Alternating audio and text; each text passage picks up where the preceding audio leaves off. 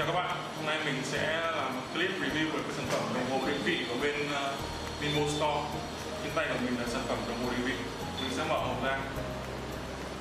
Trong hộp cho có sản phẩm đồng hồ định vị. Và các phụ kiện. Mình sẽ mở rõ ra đây, nhìn rõ. Phụ kiện rất đơn giản, bao gồm có một vít để tháo mặt sau của đồng hồ để lắp sim dây sạc dây sạc này có thể cắm vào cổng USB của máy tính hoặc là dây sạc của iPhone. Ok mình sẽ bỏ cái này ra bên cạnh.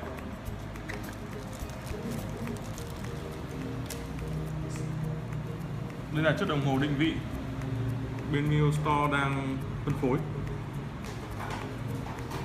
Trên chiếc đồng hồ này mình đang nhìn thấy có hiện giờ có 4 nút bao gồm có phím nguồn phím 1, phím 2 phím 1, phím 2 này là phím gọi nhanh cho bố hoặc mẹ. Bên này có một phím nữa là phím SOS phím SOS này có tác dụng khi gọi điện khi gặp một vấn đề thì mình gọi điện cho người thân mà không cần trừ giữ nút SOS này thôi là được.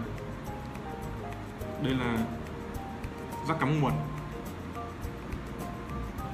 Mặt sau đồng hồ sẽ có mã QR và cái mã code của sản phẩm đại diện cho sản phẩm trên sản phẩm có bốn con ốc. Và mình sẽ sử dụng chính cái tốt vít này để tháo cái bốn con ốc này ra. Các bạn lưu ý, các con ốc rất nhỏ nên khi sử dụng tu vít nhớ nhẹ nhàng. Mình sẽ thao tác luôn, các bạn nhìn thấy.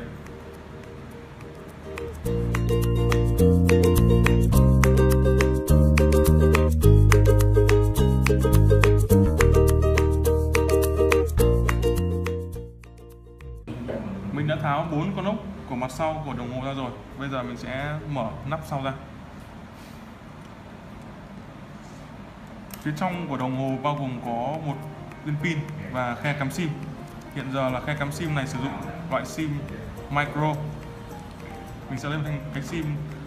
À, và các bạn lưu ý dùng sim là sim 3G và có thể nghe gọi được bởi vì đồng hồ này ngoài việc định vị là có thể có chức năng nghe gọi.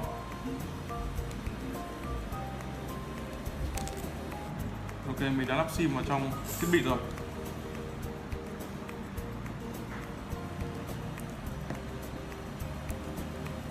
Sau khi lắp sim mình sẽ nóng nắp lại.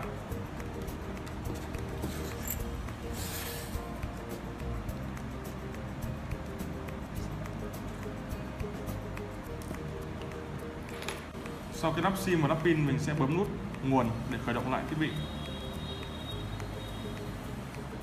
Thiết bị sẽ khởi động và có biểu tượng hello ở đây.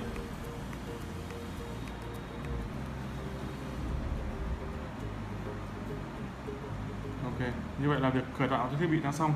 Chuyển sang phần thứ hai là sử dụng phần mềm. Mua Store sẽ hướng dẫn mọi người sử dụng cái phần mềm C-Tracker để sử dụng trên đồng hồ định vị. Trên màn hình bạn có thể nhìn thấy đây là cái phần mềm C-Tracker mình có thể download trực tiếp trên iOS hoặc là trên Android mình sẽ hướng dẫn mọi người từ bước khởi tạo uh, tài khoản cho đến việc sử dụng. Trên màn hình thì bạn có thể nhìn thấy ở góc phải có chữ đăng ký và đây là đồng hồ của mình. Mình sẽ đăng ký uh, tài khoản cho chiếc đồng hồ này. Bước đầu tiên mình sẽ bấm vào đăng ký. Trên màn hình đăng ký sẽ có mục quét ID hoặc nhập ID của đồng hồ. Thì mình sẽ sử dụng bằng cách quét cái mã QR của đồng hồ bấm vào cái bên phải này và sẽ quét mã QR. Đấy. mình đã quét được xong mã QR và đặt tên tài khoản. Trong mục tài khoản mình đặt tên. Mi shop. Nickname ở đây là nickname của chiếc đồng hồ hay có thể là nickname của con các bạn.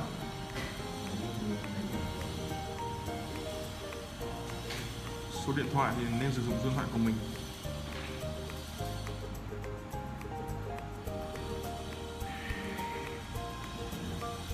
Mật khẩu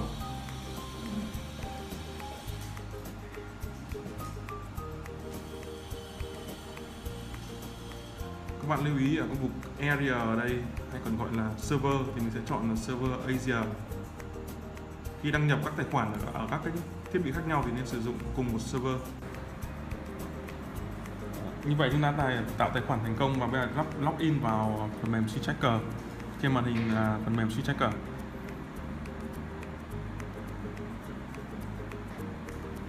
đây là giao diện của phần mềm sau khi login. Thì à, hôm nay tôi sẽ giới thiệu một số những tính năng chính của phần mềm C Checker này. Sau khi login thì các bạn đã nhìn thấy là thiết bị đã định vị ngay lập tức. Trên màn hình hiển thị sẽ có một số những tính năng sau. Thứ nhất là về phần thiết lập. Trong này tôi sẽ nói một số những tính năng chính. Nhất là tính năng SOS tại đây, chúng ta có thể điền ba, tối đa 3 số điện thoại của người thân gồm một số điện thoại của bố, mẹ và một số khác nữa. Tiếp theo, đó là vấn đề giọng nói. Ở đây chức năng giọng nói là chức năng thực ra có thể gọi là chức năng nghe lén. Khi chúng ta điền số điện thoại của bản thân vào và bấm đồng ý thì điện thoại sẽ tự động gọi đến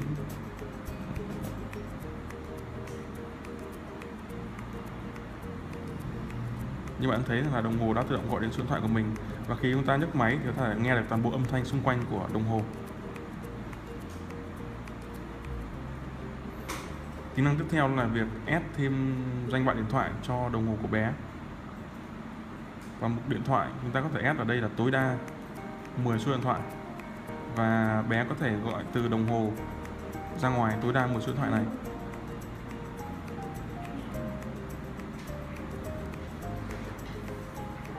Một chức năng ngôn ngữ và múi giờ. Tại đây chúng ta phải chọn ngôn ngữ, là ngôn ngữ tiếng Việt. Và múi giờ tại Việt Nam là múi giờ GMT cộng 7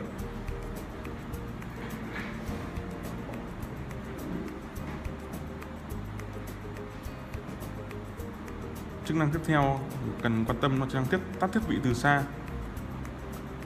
đồng hồ hạn chế cháu bé tự tắt thiết bị nên chúng ta phải tắt thiết bị bằng phần mềm từ xa qua điện thoại của bố mẹ.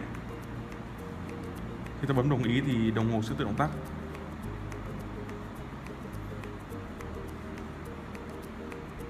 Ở góc trái màn hình ta có biểu tượng tin nhắn. Bố mẹ có thể gửi cho bé tin nhắn dạng text hoặc dạng thoại. Lưu ý dạng text thì có thể gửi được tối đa là 15 ký tự thôi. Còn điện thoại thì ta có thể giữ vào khoảng trống này và nói, kết thúc tin nhắn thoại bằng việc nhả tay ra. Ở bên bên góc phải màn hình, chúng ta nhìn thấy biểu tượng giọt nước. Trong này có một số thông tin cần quan tâm, nhưng ừ, quan trọng nhất đó là cái danh sách thiết bị. Với ờ, bố mẹ có nhiều hơn một ừ, con thì ta có thể ép thêm nhiều thiết bị bằng cách bấm nút thêm thiết bị, quét mã QR của đồng hồ nhập nickname của bé và đồng ý. Ở bên góc trái có thêm một số tính năng nữa. Quan trọng đó là tính năng tìm kiếm thiết bị.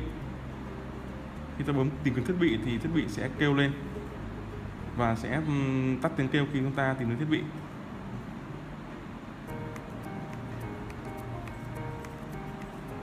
Chế độ lớp học. Ở đây để tránh việc bé bị làm phiền trong giờ học thì chúng ta xét được các khung giờ. Và trong các khung giờ này thì ừ, không thể gọi đến được. Khi à, điện thoại gọi đến à, đồng hồ sẽ báo bận.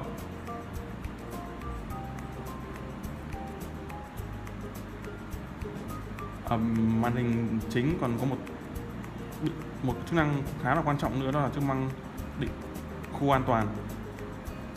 Chúng ta tạo khu an toàn cho bé bằng cách nhấn vào màn hình. Là cái trung tâm của khu an toàn và điều chỉnh cái bán kính của khu an toàn.